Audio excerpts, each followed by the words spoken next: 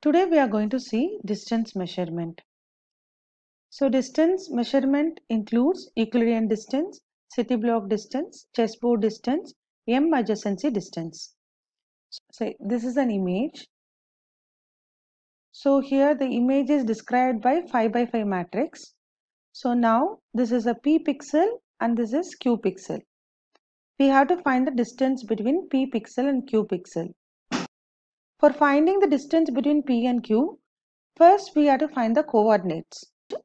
In the image, always the coordinate starts from 0, 0, 1, 2, 3 and 4. The same way here 0, 1, 2, 3, 4. So from this we can find the coordinates of P. So coordinates of P is P coordinate is 0, comma 0 and q coordinates is if you see it is fourth row and fourth column. So 4 comma 4 so this is a coordinate of p and q. So p of x comma y is 0 0 q of s comma t is 4 4 from this we will be getting value x is equal to 0 y is equal to 0 s is equal to 4 and t is equal to 4 so having these values we can find the distance between the P and Q. So these values are important X, Y, S and T. Okay. Euclidean distance measurement. So already we know the value of X. X is equal to 0, Y is equal to 0, S is equal to 4 and T is equal to 4. So Euclidean distance equation is distance between P and Q is given as root of x minus s the whole square plus y minus t the whole square. So in this we know x value, s value, y, t. Substitute that. So x is equal to 0 and s is equal to 4, y is equal to 0, t is equal to 4. If we substitute this root of 4 square plus 4 square which is 16 plus 16 root of 32. Then we are going to find d4 distance and d8 distance. We have equation for d4 as well as d8. The equation for d4 distance between P and Q is given as mod of x minus s plus mod of y minus t. We know all the four values. Substitute that 0 minus 4 plus 0 minus 4. So minus 4 will be coming but it is mod because of that it becomes positive value. So 4 plus 4 8. Okay. Then we go for d8 distance. The equation for d8 distance is maximum of x minus s comma y minus t. We have to find what is the value of x minus s and y minus t. It is 4 comma 4.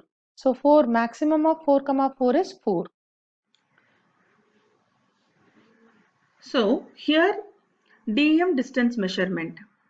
In only DM distance measurement we require the set V value. Here V value is given as 1 and 2. If you see in D4 distance or D8 distance, there is no need of a V value. Okay. So now with the help of the V value, we are going to find the path or distance between P pixel and Q pixel. Now I have to find the path or distance between P and Q.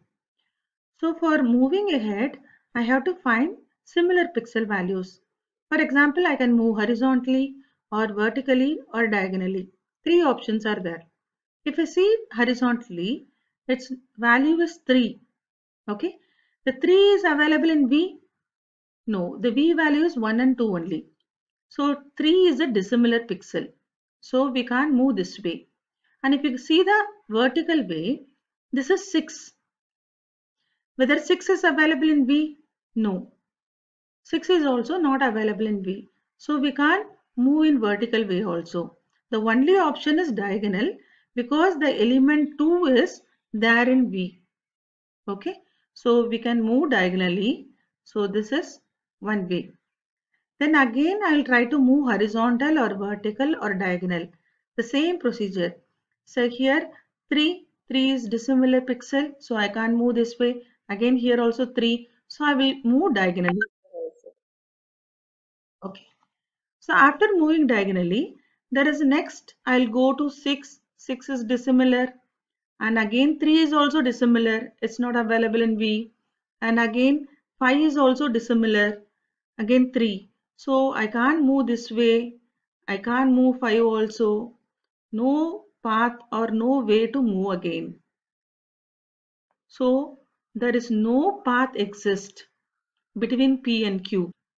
See from this point I want to move means I need a similar pixel values what is the similar pixel values 1 or 2. But here around 2 we have only 6, 3, 5, 3 which is all dissimilar pixel values.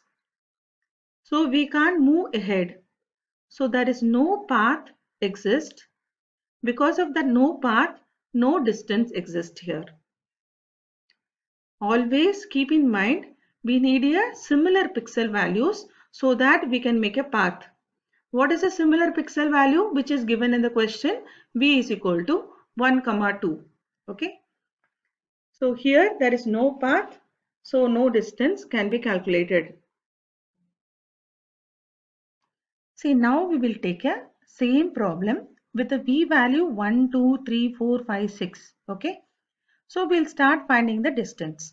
So first I'll take the P pixel. I'll reach Q and find the distance. So if we start here, I can go horizontally, vertically or diagonally because if we see 3, 2, 6 all are available in set V. So we can go horizontally or vertically or diagonally. But can I go diagonally here? If I go diagonally, we have to check whether the intersecting pixel is available in V or not. If the intersecting pixel values available in V, then we can't go diagonally. So in this case, 3 and 6 are intersecting pixel values. That is available in V. So we can't move diagonally. We can only move horizontally or vertically.